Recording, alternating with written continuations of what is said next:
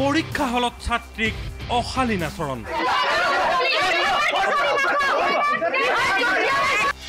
বহি জমা দিয়াৰ সময়তে অকলশৰীয়া ছাত্ৰীক অশালীন আচৰণ প্ৰবক্তাৰ।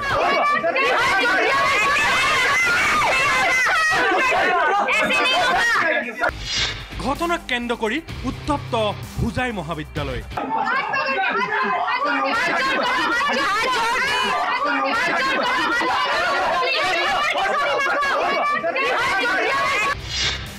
ছাত্ৰ ছাত্ৰীৰ প্ৰতিবাদত নিলম্বিত হ'ল প্ৰবক্তা।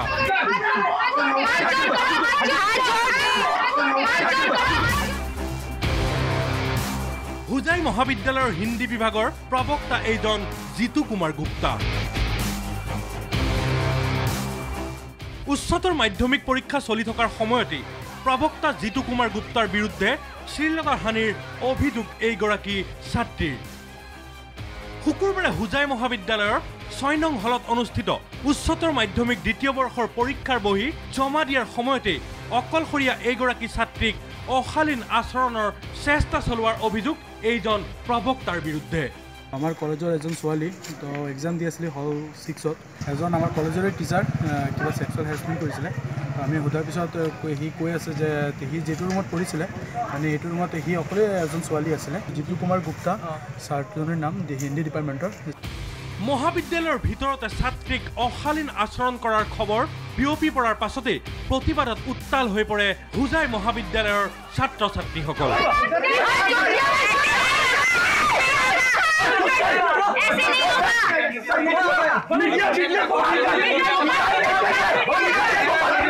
जब पेपर सबमिशन का टाइम हुआ तो Jitu Kumar Gupta sir paper collect करने आया था पर उन्होंने तब मुझे मॉलेस्ट किया आज सभी स्टूडेंट्स एंड स्टूडेंट्स यूनियन ने मुझे बहुत सपोर्ट किया जिसके वजह से मुझे आज justice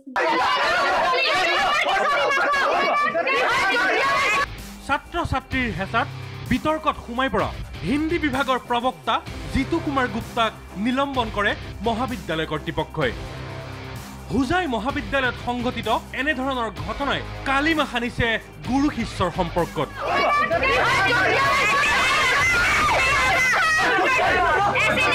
Huzai Parali, Tumani Nath, News Live.